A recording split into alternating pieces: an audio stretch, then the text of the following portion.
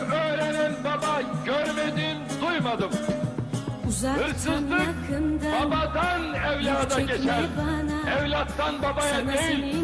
Dolayısıyla gibi, yönetimlerde hırsızlık Efendi yukarıdaki üst yöneticilerden alttaki yöneticilere oradan da halka yansır.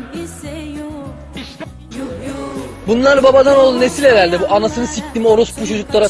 Orospu çocukları. Babadan oğul nesil herhalde bunlar. Yani çok özür dilerim. Anasını siktim orospu çocukları yani. Bunlar babadan oğula nesil galiba. Bunlar hala değişmemiş. Benim zamanımda da böyleydi. Halen böyle yani.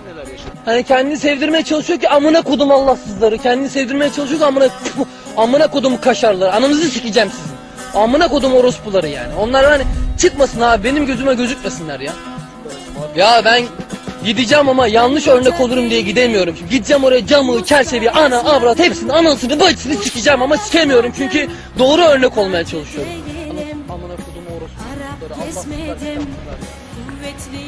Kardeşim bu ülke bu ülke duyarlı bir ülke tamam mı?